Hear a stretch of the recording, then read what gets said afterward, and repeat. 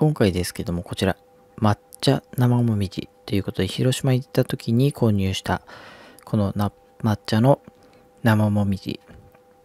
もみじまんじゅうはふわっとしていますけれども、この生もみじの場合は米粉を使っていて、あ、もち粉でしたかね。使っていて、もちもちとした食感を楽しみながら、あんも楽しめるということですごく美味しいので、購入です。まあ、このですね、お菓子、錦戸のものなんですけども、この錦戸の生もみじは初めて食べるので、どんな感じか楽しみにしているところです。えっ、ー、と、原材料は抹茶あん、えー、殺菌卵液、もち粉、砂糖、麦芽糖、乳酸発酵卵白、水飴、米飴、植物油脂、米粉、フラクトリゴ糖シロップ、抹茶トリハロース、膨張剤、乳化剤、安定剤、酵素という感じになっています。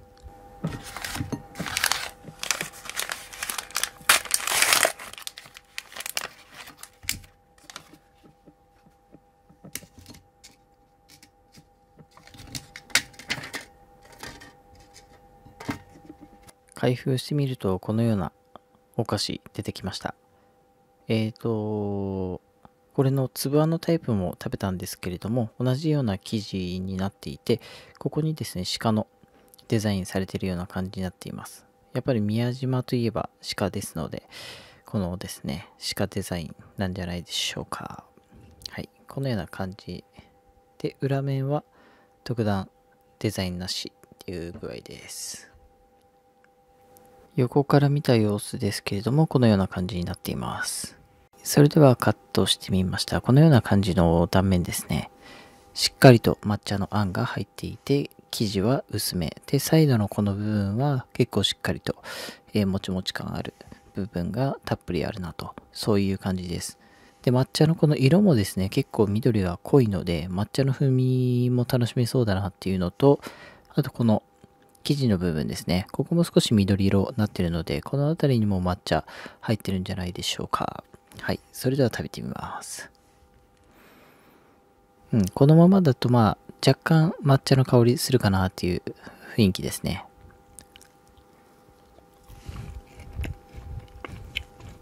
うん。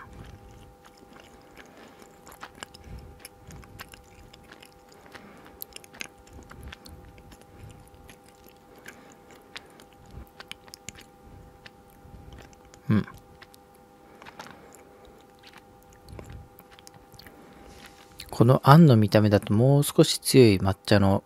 風味あるかなと思ったんですけども、この生地の風味と抹茶の風味が合わさってですね、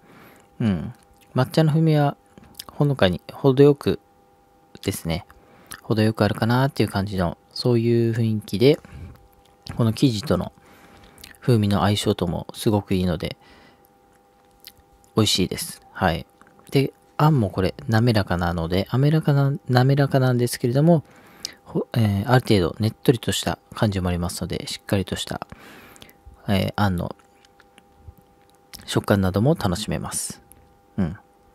やっぱりこの生もみじ、このもちもち食感のこの生地、これが特徴的ですごく美味しいので、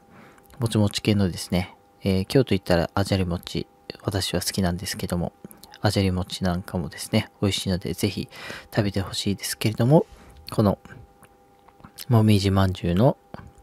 生もみじ。これもすごく美味しいので、広島の空港で買いましたけれども、広島行ったらですね、これ多分いろんなところで売ってると思いますので、ぜひ食べてみてください。美味しかったです。